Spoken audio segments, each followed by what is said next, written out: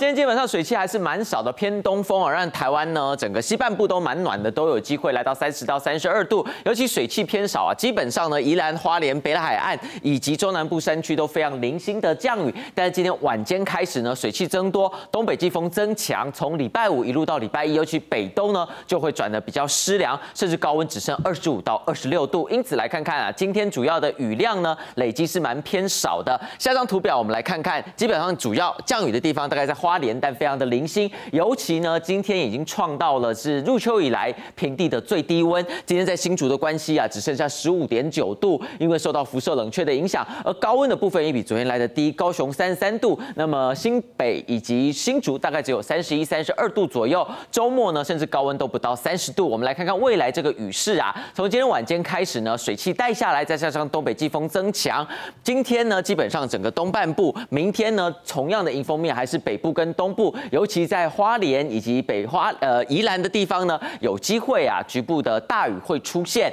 而再加上呢，冷空气降下来，到时候呢，整个周末对于北部、东部呢，都是湿湿凉凉的，再加上华南云雨带水汽的影响呢，西半部渐渐也没有这么热，尤其礼拜天呢，中部跟南部也会有感的降温，到时候高温可能只剩下二十六到二十八度，因此温度的变化也蛮大。来看看呢，北台湾今天基本上还有三十度，那么明天开始大概是二十七到二十八度，尤其呢最凉的一天呢，在礼拜天呢，在北部跟东部高温只剩下二十四到二十五度，而中南部呢，基本上在礼拜六之前影响不大，还是都有机会来到三十到三十一度，但是礼拜天呢，再加上华南云雨带的影响，中部的高温大概只剩下二十五度，南部也跌到剩二十七、二十八度，因此未来一整周简单来说呢，今天基本上还是受到偏东风的影响，明天开始东北季风增强，那么礼拜天开始再加上华南云雨雨带比较不稳定的天气，要等到礼拜二呢才有机会逐渐恢复稳定。以上是这一节的准气象。